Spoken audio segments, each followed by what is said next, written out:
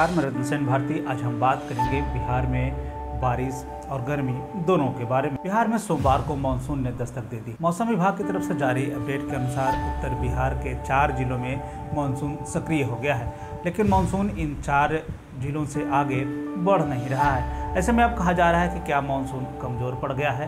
हालाँकि अगर हम मौसम विभाग की तरफ़ से जारी नए आंकड़ों को देखेंगे तो उसमें यह बताया गया है कि 16 जून के बाद से पूरे बिहार में मानसून का असर देखने को मिलने वाला है, यानी कि पूरे बिहार में बारिश होगी।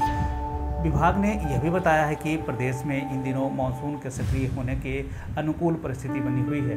साथ ही साथ विभाग की तरफ़ से यह भी बताया गया है कि अगले तीन दिन में, पूरे बिहार में मानसूनी हवाएँ का प्रवाह जो है वो देखने को मिलेगा।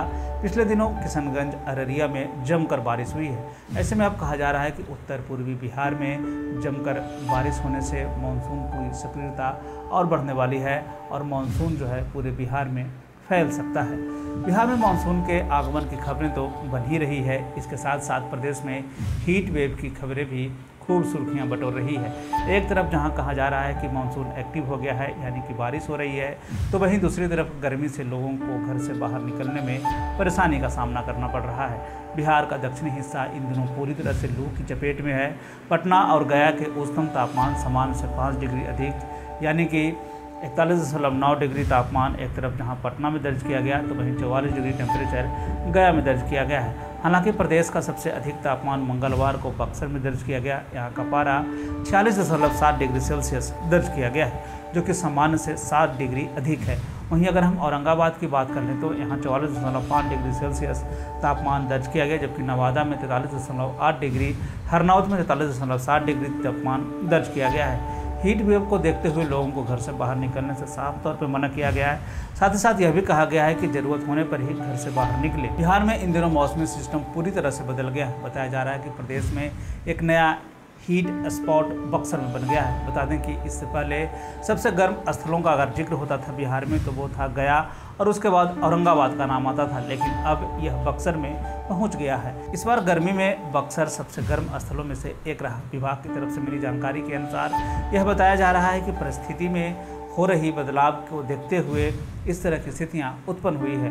अगर हम आंकड़ों को देखें तो एक मार्च से 15 जून के बीच में बक्सर में करीब 18 बार ऐसी स्थिति रही जिसमें कि पूरे प्रदेश में लू जैसे हालात रहे। इसके बाद दूसरे नंबर पर रोहतास रहा, जहाँ सबसे अधिक गर्मी पड़ी है। इन जिलों में पछुआ हवा का प्रवाह सबसे ज़्यादा देखने को मिला है। इस साल की गर्मी को लेकर यह भी कहा जा रहा है कि सबसे ज़्यादा यहाँ गर्मी पड़ रही है।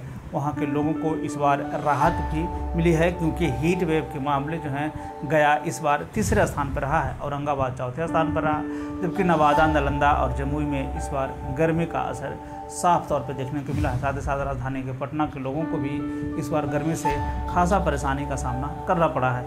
ऐसे में यह कहा जा रहा है कि बिहार में भले ही मानसून सक्रिय हो गया हो, लेकिन अभी भी प्रदेश के ज़्यादातर हिस्से जो है वो गर्मी की मार झेल रहे हैं, खास करके राजधानी पटना और इसके आसपास के इलाके और दक्षिण का जो इलाका है, वो पूरी तरीके से गर्मी की मार झेल रहा है।